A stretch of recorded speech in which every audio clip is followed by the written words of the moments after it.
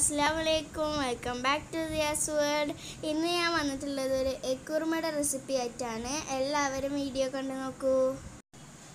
Egg kurma ഉണ്ടാക്കാനായിട്ട് ആവശ്യമുള്ള സാധനങ്ങൾ ഞാൻ ജസ്റ്റ് ഒന്ന് പറയാം. ഒരു നാല് മുട്ട പുഴുങ്ങിയിട്ട് എടുത്തിട്ടുണ്ട്. രണ്ട് വലിയ സവാള നീളത്തിൽ കട്ട് ചെയ്ത് എടുത്തിട്ടുണ്ട് പിന്നെ കുറച്ച് കറിവേപ്പില എടുത്തിട്ടുണ്ട്.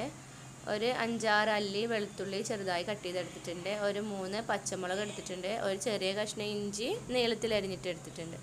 പിന്നെ ഒരു സ്പൂണ് വലിയ ജീരകമാണ് എടുത്തിട്ടുള്ളത്. രണ്ട് തക്കാളി കട്ട് ചെയ്തെടുത്തിട്ടുണ്ട്. പിന്നെ ഇത് മല്ലിയിലയാണ്. രണ്ട് ഭാഗമായിട്ടിരിക്കുന്നത് ഇത് കുറച്ചധികം വേണം. ഫസ്റ്റ് ഇടാനും വേണം. ലാസ്റ്റും വേണം. അതാണ് ഇങ്ങനെ വെച്ചിട്ടുള്ളത്.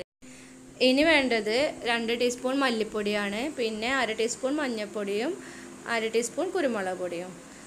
പിന്നെ വേണ്ടത് ഇത് ഒരു തേങ്ങയുടെ പകുതി തേങ്ങ ചിരവി അതിന്റെ പാലെടുത്തതാണ്. നല്ല കട്ടി തേങ്ങാപ്പാലാണ്. ഇനി വറവിടാൻ ആവശ്യമായത് മൂന്ന് ചെറിയ ഉള്ളി ചെറുതായി കട്ട് ചെയ്തതാണ്. പിന്നെ മൂന്ന് വറ്റൽമുളകും കുറച്ച് കറിവേപ്പിലയും. ഇത്രയാണ് നമുക്ക് എഗ് കുറുമ ഉണ്ടാക്കാൻ ആവശ്യമായിട്ടുള്ള സാധനങ്ങൾ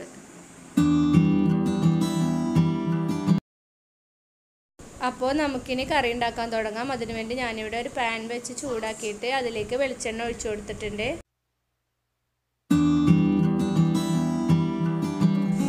ഇനി ഇതിലേക്ക് നമ്മൾ കട്ട് ചെയ്ത് വെച്ചിട്ടുള്ള ഇഞ്ചി ചേർത്ത് കൊടുക്കാം. എന്നിട്ട് ജസ്റ്റ് ഒന്ന് വഴറ്റി കൊടുക്കാം.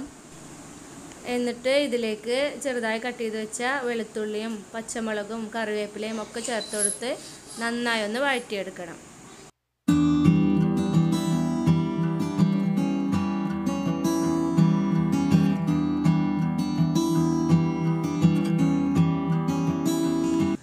ഇപ്പോൾ ഇത് അത്യാവശ്യം നന്നായൊന്ന് വഴന്നു വന്നിട്ടുണ്ട്. ഇനി ഇതിലേക്ക് നമ്മൾ കട്ട് ചെയ്ത് എടുത്തു വെച്ച രണ്ട് സവാളയാണ് ചേർത്ത് കൊടുക്കുന്നത്.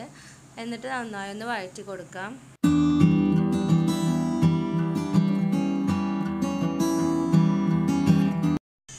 ഇനി ഇതിലേക്ക് ആവശ്യത്തിന് ഉപ്പും കൂടി നമുക്ക് ആഡ് ചെയ്ത് കൊടുക്കാം. എന്നിട്ടൊന്ന് മിക്സ് ചെയ്തെടുക്കാം ഇനി നമ്മൾ ഇതിലേക്ക് ചേർത്ത് കൊടുക്കുന്നത് നമ്മൾ മാറ്റി വെച്ച ഒരു ടീസ്പൂൺ വലിയ ജീരകമാണ്.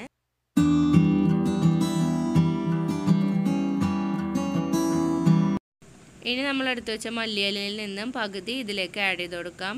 എന്നിട്ട് നന്നായി ഒന്ന് മിക്സ് ചെയ്യാം.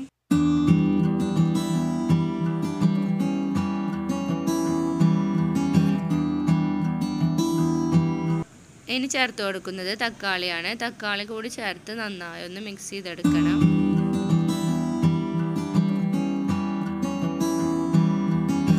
ഇതാ ഇതിപ്പോൾ അത്യാവശ്യം നന്നായി എല്ലാം കൂടി നന്നായി ഒന്ന് വഴറ്റിയെടുത്തിട്ടുണ്ട്. അപ്പോൾ ഇനി ഇത് നമുക്ക് ഫ്ലെയിം ഓഫ് ചെയ്തിട്ട് വേറൊരു പാത്രത്തിലേക്ക് മാറ്റാം.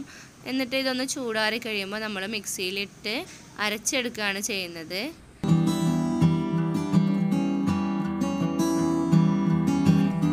ഇതാ ഇതിപ്പോൾ ഞാനിങ്ങനെ നന്നായി ഒന്ന് അരച്ചെടുത്തിട്ടുണ്ട്. ഇനി നമുക്ക് ആ സെയിം പാൻ വെച്ചിട്ട് ഫ്ലെയിം ഓൺ ചെയ്ത് ഈ അരപ്പ് അതിലേക്ക് ഒഴിച്ചു കൊടുക്കാം. എന്നിട്ട് നന്നായി ഒന്ന് മിക്സ് ചെയ്യാം. ഈ അരപ്പെല്ലാം നന്നായി ഒന്ന് ചൂടായി തിളച്ച് കിട്ടുന്നത് വരെ നമുക്കൊന്ന് വഴറ്റി കൊടുക്കാം.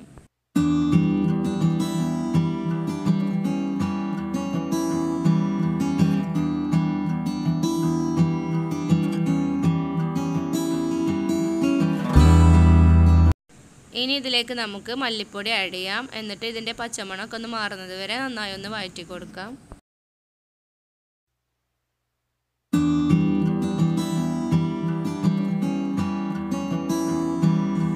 ഇനി നമുക്ക് മഞ്ഞൾപ്പൊടി ചേർത്ത് കൊടുക്കാം. എന്നിട്ടും വീണ്ടും നന്നായി ഒന്ന് വഴറ്റി കൊടുക്കണം.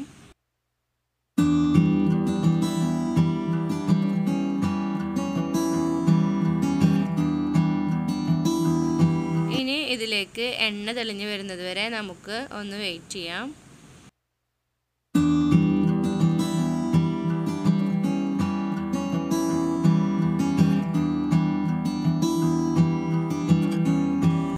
ഇപ്പോൾ ഇതാ ഇതിലേക്ക് കുറേശ്ശെ എണ്ണയൊക്കെ തെളിഞ്ഞ് വരുന്നുണ്ട്. ഇനി ഇതിലേക്ക് നമുക്ക് പുഴുങ്ങി മാറ്റി വെച്ചിരുന്ന നാല് മുട്ടയാണ് ചേർത്ത് കൊടുക്കേണ്ടത്. അതും കൂടി ചേർത്ത് കൊടുത്തിട്ടുണ്ട്.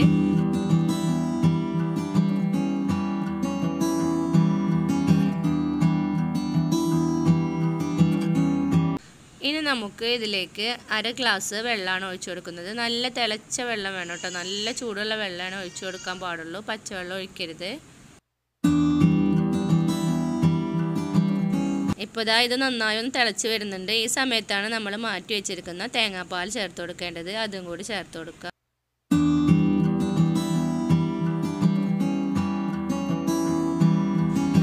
ഇനി ഇതിലേക്ക് അര ടീസ്പൂൺ കുരുമുളക് പൊടി ആഡ് ചെയ്ത് കൊടുക്കാം. ഇനി ലാസ്റ്റായിട്ട് നമ്മൾ ഇതിലേക്ക് ചേർത്ത് കൊടുക്കുന്നത് മല്ലിയിലയാണ്. അതും കൂടി ചേർത്ത് കൊടുത്തിട്ട് നന്നായി ഒന്ന് മിക്സ് ചെയ്തെടുക്കാം. അപ്പോൾ നമ്മളുടെ എഗ് കുറുമ ഇവിടെ ഏകദേശം റെഡി ആയിട്ടുണ്ട്. ഇനി ഇതിലേക്ക് കാച്ചി ഒഴിക്കാനാണുള്ളത്.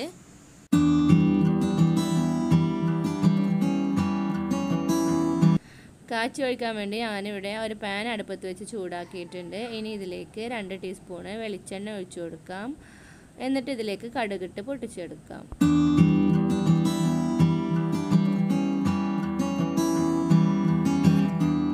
കടുക് ഒന്ന് പൊട്ടിക്കഴിഞ്ഞ് തുടങ്ങുമ്പോൾ നമുക്ക് മൂന്ന് വറ്റൽമുളക് ചേർത്ത് കൊടുക്കാം. പിന്നെ നമ്മൾ കട്ട് ചെയ്ത് വെച്ചിരിക്കുന്ന ചെറിയ ഉള്ളിയും കൂടി ചേർത്ത് കൊടുക്കാം. കറിവേപ്പിലയും ചേർത്ത് കൊടുക്കാം. എന്നിട്ട് ഇത് നന്നായി ഒന്ന് മൂപ്പിച്ചെടുക്കാനുണ്ട്.